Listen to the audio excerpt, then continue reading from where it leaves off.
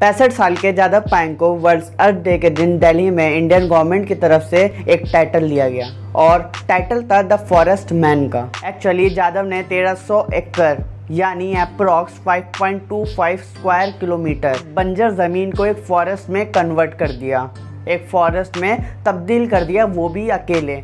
Jadav started planting इन 1979 और वो आज भी प्लांटिंग करते हैं and he is protective about it इस पूरे बंजर ज़मीन को उन्हें फॉरेस्ट में तब्दील करने में पूरे 30 साल का समय लगा। And it is officially called Molai forest जो कि वहाँ मौजूद लोकल्स ने मोला यानी जादव के 30 साल के परिश्रम को ट्रिब्यूट देते हुए रखा।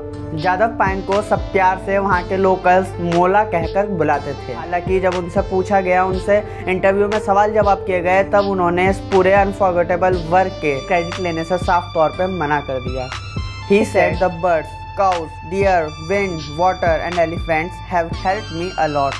So the credit goes to them. I hope you all like the real life story of the legend, the real life hero, the pride of India, Mr.